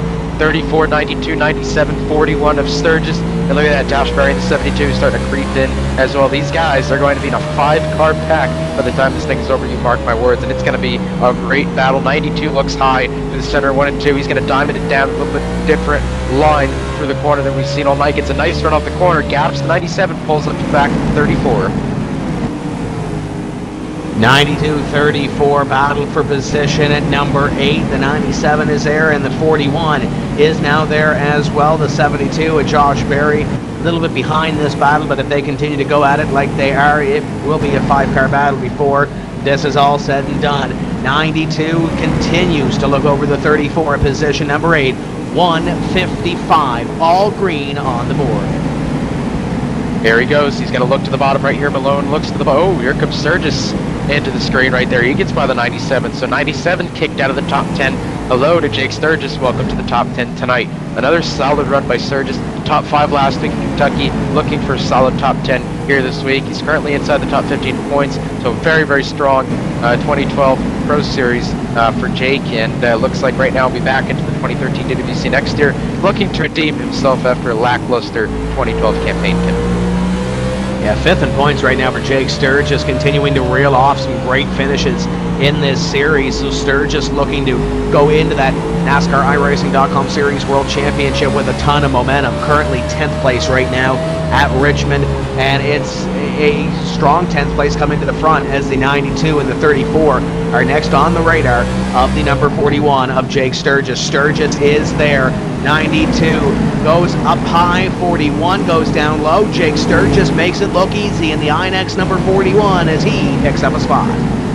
You know, I think Sturgis might have been holding something back, Tim. If there's one car that was sandbagging this whole race, or maybe he just found something here of late, it would be him. He was faster in the leader last time by by a, pretty good amount, a lot faster than all these guys around him. So that's pretty impressive by Sturgis right now. He moves right back of 34, 33 and 4. Nice run off the corner.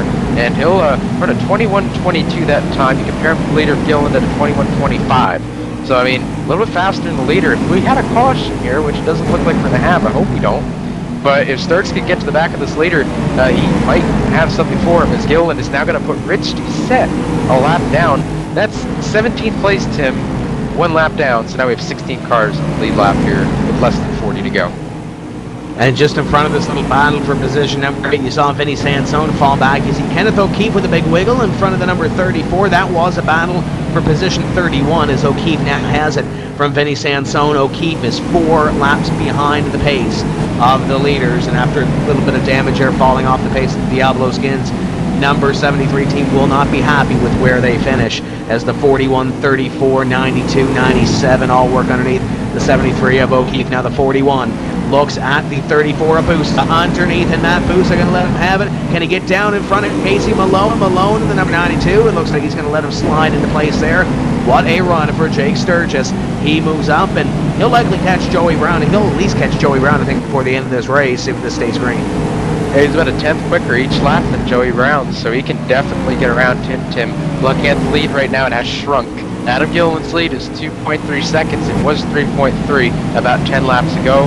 Jared Crawford has found something, or maybe Gilliland got held up in traffic. I know he just put his teammate 07 Derek Crone one lap down. That leaves 15 cars in the lead lap at this point. Let's see what it does this time. 21.19 for Gilliland and a 21 uh, 197 for Crawford, one one thousandth of a second difference. So the lead is kind of stabilized right now. Tim at 2.3 seconds. Chad Lawton in third at 6.9 seconds behind. And Cody Bias in fourth, 7.1. Rounding out your top five. Still Huffman 8.0 back. It looks like the uh, the battle for third is still going on. It just seems like Bias cannot get up beside the 26, but he can stay right in his tire tracks uh, throughout the racetrack. Could it possibly be Cody Bias maybe saving something here because it's been this way about the last 60 laps or so since we completed the round of green flag pit stops? Could Bias possibly be saving something and letting Chad Lawton burn up his stuff in the 26? That's that's very likely. I mean, Bias, uh, I believe he won an A championship, uh, a Class A Series championship a couple seasons ago, so he obviously knows what he's doing.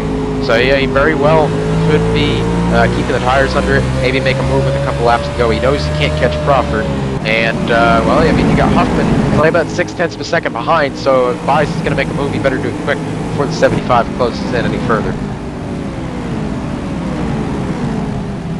Yeah, Landon Huffman is back there looking to close in on what could be a podium finish here this evening at Richmond as we work 168. Gilliland going to come up and complete that lap this time by Jared Crawford, 2.4 seconds back as it looks like Gilliland just faster than him. Five one thousandths of a second that last time by 81 over 83. Next up on the list is Brandon Cattell. Cattell is about a half straightaway ahead of your leader Adam Gilliland and it's uh, 15th place right now for the 14. Ecatel has actually stayed out of trouble tonight. The car's in one piece. He's not on his roof. He's not smashed up. That's the first time been able to say that all season.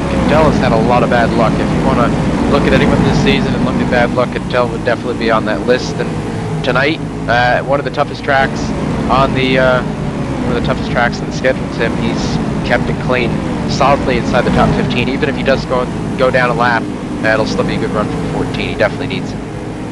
30 laps to go here at Richmond. It's been all green flag conditions. In this event, Jared Crawford, 2.4 seconds behind Gilliland. Chad Lawton, Cody Bias continue to run nose to tail at position number three, seven seconds, and nearly eight seconds now behind your leader, Landon Huffman, is right there as well in a position at number five. Uh, looking back, it's Dustin Montgomery, Joey Brown, Jake Sturgis, Matt Busa, and Carson Downs, your top 10. And look at Sturgis. He is closing in on Joey Brown. A little bit of lap traffic might help him as well, as I believe that might be Duval ahead of the 12. Yeah, still consistently. He's about seven minutes quicker than Brown. That'd be about three quarters of a tenth of a second. So, I mean, you know, you can see right through the center of the corner if we have our camera on him. The 41 just closes in so much in the 12 right there. Again, Brown runs a little bit slower to 43, Sturgis at a 27. So again, uh, another tenth and a half for Sturgis off the gap between him and the 12. 12 moves to the underside of the 42 with Dylan Duval as the 41 of Jake Sturgis closes in as well. Little tight quarters coming off of corner number four as the 12 and 41 go at it down the front.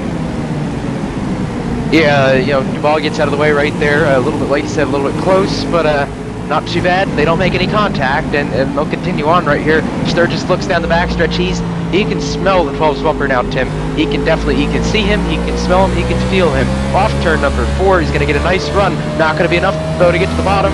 No, he's not going to have it. He'll wait another lap to make move. 41 looking at that 12 for the spot. This is position at number 7 as they work down the back straight away. They are about 2 seconds off the pace of Dustin Montgomery in position at number 6. And really that battle for position number 3 right now is back there around 7 seconds, 8 seconds behind your leader and about 4 seconds ahead of the battle you're watching now between the 12 and the 41. And they got to figure this one out because there's only 25 to go.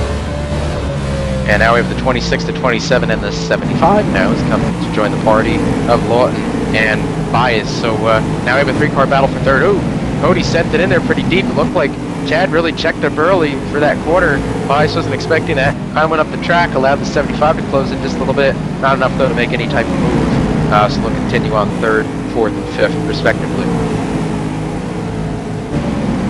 Crossing the line this time, 177 in the book for Chad Lawton and Cody Bias and Landon Huffman as they battle for third, fourth, and fifth. And if they make any sort of mistake, it's going to be Dustin Montgomery all over them in the number eight car. Jake Sturgis a little bit too far back right now to battle for this spot. But if anything happens, and nothing's really happened huge to bring out that yellow silk, in the first 178 of this race as the 27 looks again on the 26 for the spot.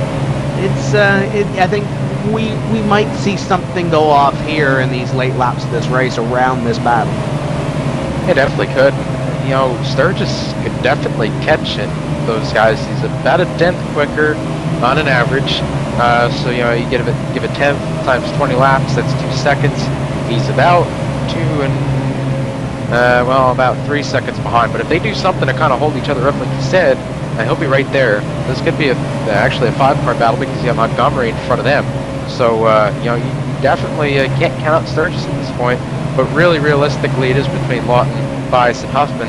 It just seems like uh, Bias or Huffman, they just they can't get to the 26. You know, they can get close to him, they can't get to him or next to him. They just don't have enough cars at this point. And I think when you look at Jake Sturgis, Dustin Montgomery, I'm pretty sure if this thing stays green and they continue up the way they are, minus some lap traffic right now in front of the 41s, they're side by side. As they look at Cody Bias now underneath Chad Lawton for the spot, and it looks like the 75 going to follow through as well. So your point leader loses two spots, and he's going to have to reset himself and see what he has for the final run of this race. But I was just about to say there too, uh, Dustin Montgomery looks like he's going to catch the uh, 26 of Chad Lawton. Uh, Jake Sturgis might be able to catch the 8 and 26 here. He might have a top 5 run if this thing stays green and he can continue to pick off spots. Uh, you know, if things could break on our AC, Jim, I'd say that the 26 got something broken. He's just over a second off the pace right now. Not really sure what's going on. It looks like the car will just not turn. It'll turn, it'll kind of fork over in the right front and then pivot. And last time I ran a 22 flat, uh, leaders in the 21 twos. I'm not really sure what's wrong with that car. It looks like he's back under power now. Uh, I, am not really sure. Maybe he was blinking. Maybe he had too much tape on. Maybe he didn't take enough fuel. I'm not sure, but he really lost pace very quickly. He might have hit the nail on the head on that last one. I'm going to send it down to Dakota Urban. Could this possibly be a fuel issue with the 26? We do know that he is uh, saving a little bit of fuel, and uh, they think they're getting off fuel, but they're possibly a little close. Uh, keeping an eye on it though. I, I know that I believe it was him who came in earlier uh, after missing pit road the first time. I believe he got a little bit of damage. Yeah, yeah he is definitely clutching it, guys, and uh, saving fuel. So I, I know he came in a little early, and I think they're uh, just getting a little close, but they should be good to go. Uh, there's plenty of laps to save, uh, save fuel from here, guys. And uh, like uh, like Dakota said, he is clutching it. He's definitely saving fuel. He's at a 21.6 that time, so he's starting to pick it back up a little bit. But Tim, his lead over Jake Sturgis is only a second and a half. He's about a half a second off. And if he keeps running that pace, Sturgis is going to be there in three laps. So that'll put him back to seventh. And if he continues to run this pace, it wouldn't be out of the question for Brown or Busa to catch him as well, as he's really off the pace. That car is not handling well. He, not having fun clutching it right now. He's just all over the place. Points leader, not having very fun right now. Having very much fun, I should say. That car is just evil. You don't need to look far to figure out what happens when you run out of fuel. Look at that 04 car, Jarl Teien. He ran out of fuel on the green flag run. He is two laps behind the pace, and he's actually he's probably two and three quarters behind the pace in position number 29 right now. So the only driver that, uh, or a few of the drivers that are for sure on fuel, one for sure is Jarl Teien because he can make a well over 100 laps on the fuel. So Teien is uh, definitely got a decent car, especially on the long run of this race, Mike. We saw it in that first run. Jarl might be able to make up a few spots here if a couple of guys do start slowing down and possibly saving it. He could have at least top 25 possibly in his radar. It's definitely a stretch right now uh, with about 10 laps to go. He'd have to have a lot of people start to run out very quickly, but you never know what's going to happen. And again, you know, there's so many cars either a lap or two laps down. He can definitely make up positions. That's not out of the question at all. We're going to have Adam Gilliland on the back of the 14 here very quickly. Here he is off at turn number two. Adam Gilliland pulls down to the bottom into three, and he will put the 14th place car, make it the 15th place car, if you can tell, one lap down. So everyone up to 15th is lap down. Last car in the lead lap right now is Gilliland's teammate, Chambrone, about a second and a half up in front of the leader at this point. And it looks like they're about the same lap time right now, or, or, check that. Yeah, they're about the same lap time or so. They're about within a tenth or so. So Chambrone might finish this race on the lead lap, but we'll have to see. 192 in the books. Eight laps to go for the 81 as he turns at 328 that time. In front of him, Chambrone's at 368. So they're about in the same ballpark. And meanwhile, Crawford is back in the ones somehow, some way. I don't know if he saved tires a little bit or what, but he's now 1.85 seconds behind Gilliland. He's really gonna have to step it up more, have something happen to Gilliland to get up to him. Uh, oh, as Kenneth gets really loose off the corner right now, but Crawford continues to run the ones. He's now 1.79 seconds behind. So late in the going here, it might be too late though. Crawford is starting to close in on the leader.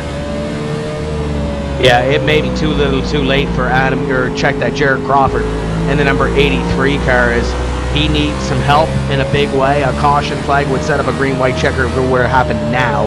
As the 11th place now, Chad Lawton, and he's in heavy traffic here as there's a bunch of lap down cars that are going to pass him, and Casey Malone, who's currently on the lead lap right now, going to try to work under him as the Gary Mercer trucking cars go at it, and it's not really much of a battle. 92 picks it up. He's in position number 11 right now, this time by five to go for Adam Gilliland. Oh, as Duval gets really loose in two, they save it, they don't wreck. Lawton's okay, everyone's okay. I don't know how they saved that. Duval got loose once again, almost got to the side of the 50. Looks like Lawton's picked up the pace and he's trying to get around these two, get away from Hansen. Oh, big wiggle for the 42 right there. This is the battle going to be brewing for the 12th 13th position. 26 Lawton, 8 uh, 78 Hansen. They're about a half a second apart, Tim, but Lawton is just getting so held up right now as he clears lap traffic. I thought the 17 was going to get to him. Maybe not going to happen. Uh, like you said before, too little, too late. Um, uh, like I said, uh, 26 is back under power now, now to 21.45, so he's back up to pace. Looks like he saved enough fuel. Dakota, uh, I'm guessing he's good on fuel, right? Yes, sir. The crew chief just came over and told him he is good on fuel and they wanted him out of there. Even if he wasn't good on fuel, they was going to tell him to go anyway. They did not want him uh, in that traffic, in that uh, danger zone right there, guys. Two to go at the line this time, Tim.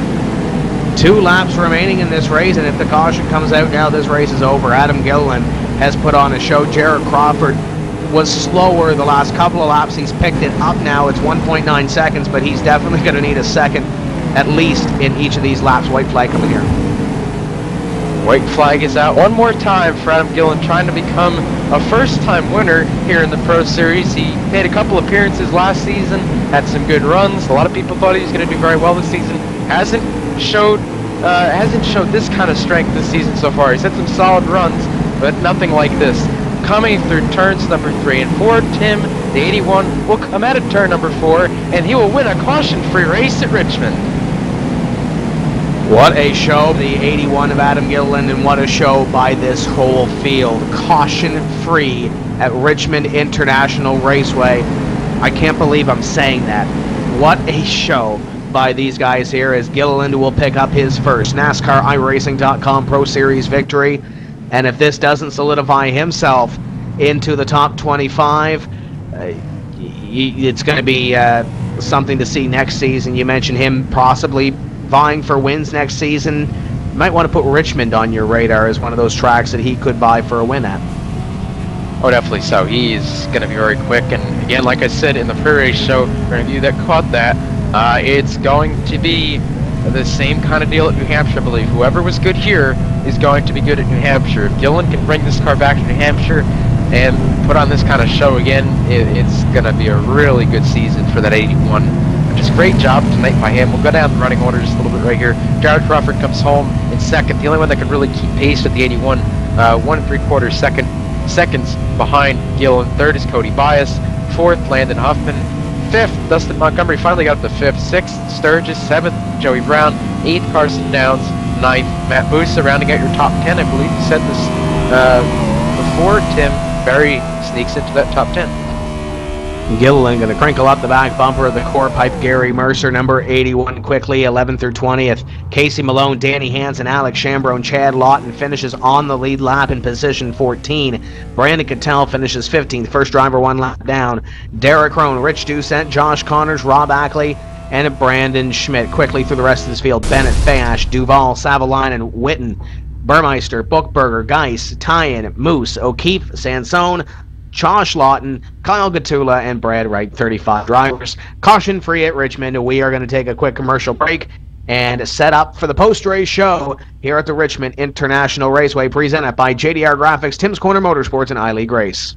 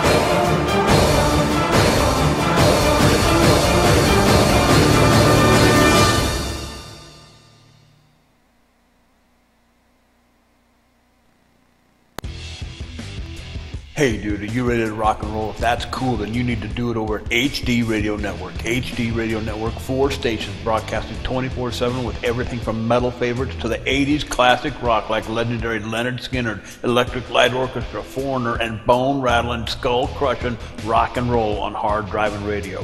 Fear Factory, Stone Temple Pilots, Def Leppard, and a whole lot more. HDRadionetwork.com. Take your pick and rock your brains out, dude. Welcome back to ETV Live and our coverage of the NASCAR iRacing.com Pro Series at Richmond. Caution free, and we have a first time winner in the series. Adam Gilliland pulls into victory lane after leading 123 laps this evening at Richmond. He is down in victory lane with Mike Conti. A dominating performance by driver of the number 81, Adam Gilliland. Adam, um, I got the pleasure to race with you in the Sunday night A race, and I saw you were strong then. I knew that you're going to be strong tonight. You're actually my pick tonight, so thank you for getting me uh, maximum points. I appreciate that. But enough about me. Tell us about that car and just tell us how you went about the race, knowing that you had the best car out there. It must have been a pretty good feeling. Man, I tell you, it felt great. Uh, going into the race, knew and I had a strong piece. Kind of messed up qualifying a little bit, but sixth place wasn't a bad starting position. Um, we worked on the set all week. Me, Cody Bias, Cody Bias did a lot of work, and uh, I really felt good after that Sunday A race, and uh, just carried a good, a good feeling into the tonight's race, and uh, put a whole race together. Yeah, man, that was a fantastic job, and you really kept your head on your shoulders. You didn't do anything irrational, and, and what I was most impressed by was the way that you work lap traffic. I mean, we know that you're an aggressive driver. I mean, in, in aggression is fine, but when you got to that lap traffic, you didn't put it where it didn't need to be. You kept your nose clean, and you got through that. You know, we don't really see people working lap traffic anymore. I can't remember the last time I worked lap traffic in one of these caliber races. When you got to the back of the field, was it a little bit of a kind of like a, a different experience for you? Were you kind of nervous about trying to get up to the slower cars, or just really how did you go about that? Yeah, I was definitely nervous after uh, catching Jared there, uh, seeing he was having some difficulties getting around a few lap cars. But I really owe a lot of my patience to uh, Brendan Mercer. He was spotting for me tonight and uh, kept me uh, making uh, good good decisions, and um, that ultimately uh, got me the win. Well, Adam, I just I I just can't believe that race. You know, tell us about how you feel about going caution free at Richmond, 200 laps under green at Richmond with cars that are sliding all over the place when the tires get hot. You know, how was it like in the driver's seat to be able to keep the tires on it, keep your head in it, uh, with no time to rest or take a breather? Yeah, it was it was definitely uh, tricky to balance that. Uh, 200 laps at Richmond is just unheard of nowadays, and uh, it was it was just crazy. I we were sliding all over the place, and just started out the runs after the green flag pit stops and the initial green flag run. Uh, just cooling my keeping my right rear cool because I knew uh, cars would start to back up to me because I had a good long run setup, and uh, just kept my tires under me. And uh, eventually, the guys in front of me came back to me, and uh, was just smart about using my tires. And uh, but yeah, like I like you were talking about, 200 laps, green flag all the way at Richmond's just unheard of. It was a great job by everyone to keep their noses clean. Uh, Adam, just great job once again. Before I let you go, uh, let us know who makes it happen for you. Well, I got to thank everyone first and foremost at Schmidt and Chassis Works. They put together a great piece, especially Cody Bias, man. He's one of the most underrated talents in the Pro Series. He's a great kid, and he made a hell of a setup tonight, and I can't thank him enough. I also want to thank uh, Horpipe, Gary Mercer Trucking, Brendan Mercer for coming on board the rest of the season, uh, GSRacing.net, Tim's Corner Motorsports, and JDR Graphics. Alrighty, Adam. Great race tonight. We'll look for you next week when we head to Dover International Speedway.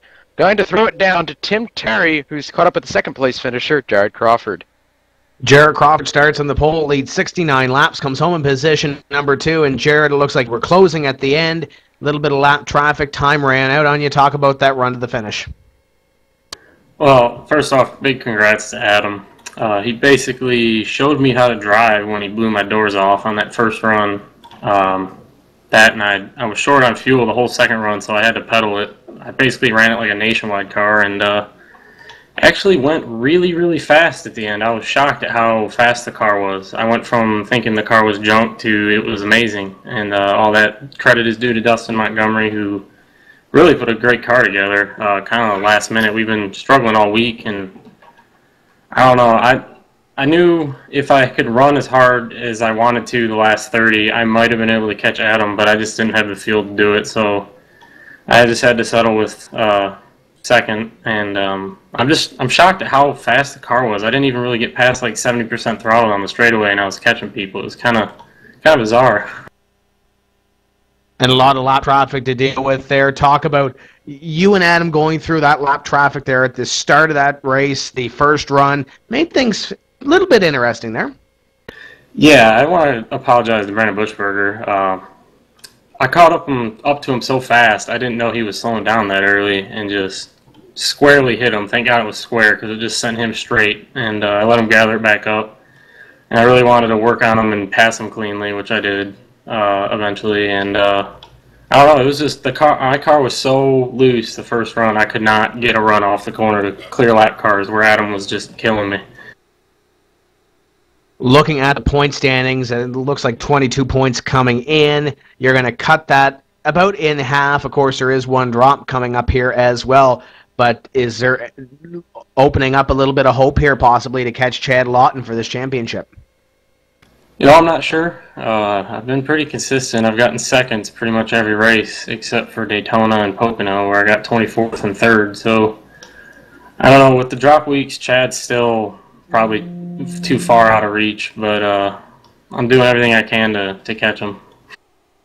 Dover next week before the holiday break. How big is it to get a good run there to set yourself up for momentum for those final two races at New Hampshire and Charlotte? Very important. Um, Dover is a very challenging track. The car tends to get really slick coming out of the corners, and uh, it's just it's going to be hard to keep it clean. I thought this race was going to be a mess, but all these guys proved me wrong, and I'd like to thank all of them for racing with such respect and clean. It was a really good show. Talk about who makes it happen for you, some sponsors, and of course the team that helps you get to the track each week.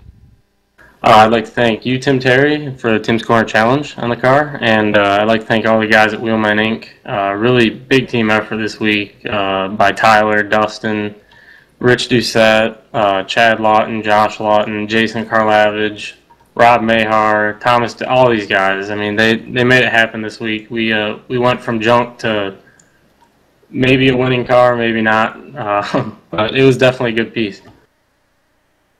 That's Jared Crawford coming home in position number two. Going to kick it over to Mike, who's caught up with our third place finisher, Cody Bias. Cody Bias, teammate of our winner tonight, Adam Gillen. Cody, we know you had a fast car under you. Uh, going through this race, what was your strategy uh, because of the long green flag runs here tonight and the lack of cautions? Well, mainly my strategy was just to keep the rear tires underneath me the whole race. Um, not expecting to go green the entire race, but it's a big surprise. But the car handled great, and just try to manage lap traffic throughout the race was the biggest challenge. Uh, tell us about tire conservation tonight. I know that the rear tires got heated up very quickly. It seems like you were able to keep the tires under it. Um, what did you do tonight to try to uh, to try to minimize the rear tire heat? Mainly just easing into the corner and then easy off, just worrying about rolling the center better than everybody else. But other than that, nothing really. Just easy off, easy in. So you had a good car tonight. We go next week to Dover before we have our two-week uh, winter recess. Uh, you guys ran really well here tonight. Um, what are you looking for next week at Dover? Oh, Dover being one of my favorite tracks, I'm looking really forward to that race, knowing that we have a lot of momentum going into today, and I'm just hoping we can continue this dominance like we showed tonight. All right, Cody. Before I let you go, just let us know who makes it happen for you.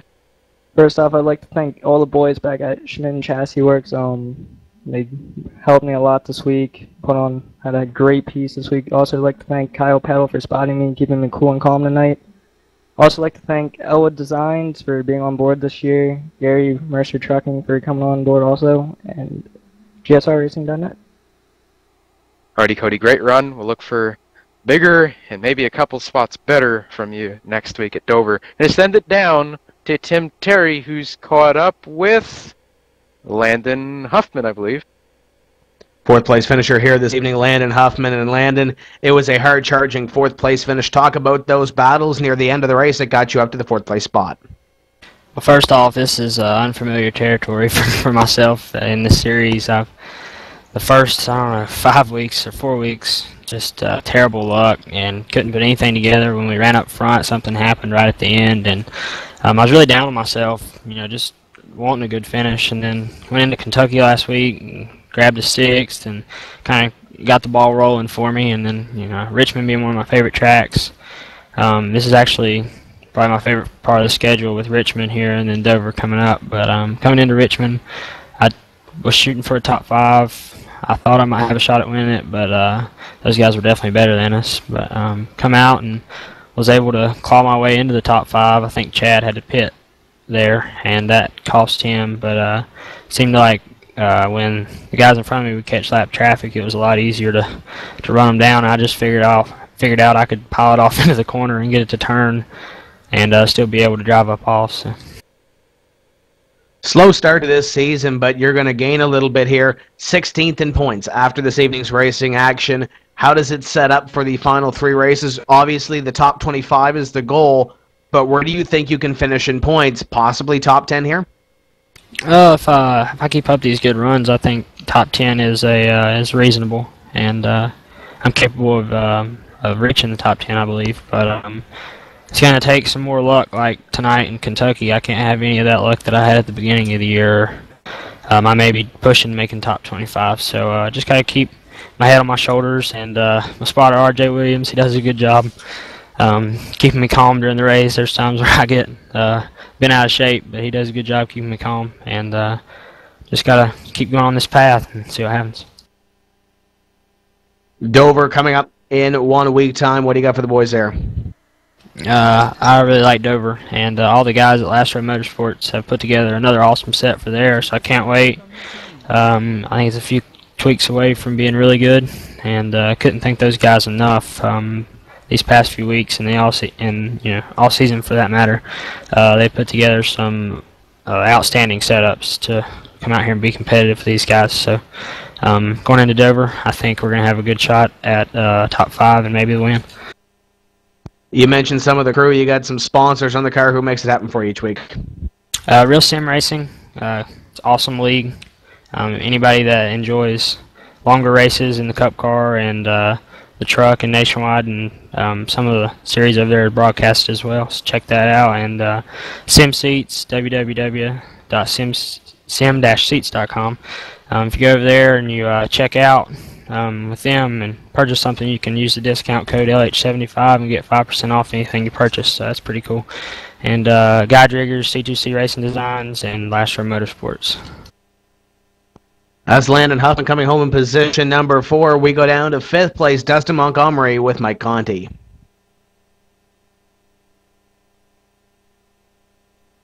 Maybe we don't go down fifth place with Dustin Montgomery. I don't see him up here, so we'll uh, we'll wait to see if we can wrangle him up, Mike. But uh, final thoughts here from this evening.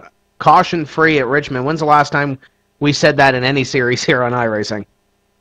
Actually, um, John will remember this. Uh, I believe two seasons ago, the Friday Night B-Car Showdown right here on ETV Live went caution free at Richmond. So it must be something about ETV and and uh, we we just must have some sort of magic that we put on the fields when we come here to Richmond. But I mean, it was just all honesty and seriousness. That was that was great. It's great racing, very exciting. A lot of aggressive driving, but a lot of smart racing as well. And that's why we had 200 laps under green, successful pit stops under green, just everything that you could ask for. I mean, that race could not have been any better. Uh, I can't thank John enough for giving us the great coverage that he does every week with the cameras, and uh, everyone else that's behind the scenes at ETV that doesn't get enough credit that they deserve. Uh, they do an awesome job, and to be able to go 200 laps into green at Richmond and keep up with everything, that's quite an accomplishment. So um, I'm glad that we got out of here uh, with a good race and a great race, to say the least. The next week we'll go to Dover, and hopefully we'll see more of the same thing. And it doesn't look like Montgomery is going to be here. We'll catch up with him on a future race here for the NASCAR iRacing.com Pro Series on ETV Live. Once again, one week time, we head to Dover for the next round. Then there's a holiday break, and then we have two more races, New Hampshire and Charlotte, in the calendar year of 2013. That's going to do it for us here this evening on ETV Live. So for Dakota Urban, John Westling, Mike Conti, my name is Tim Terry, saying that we will see you next week. We say let's go racing with the NASCAR iRacing.com Pro Series on ETV Live.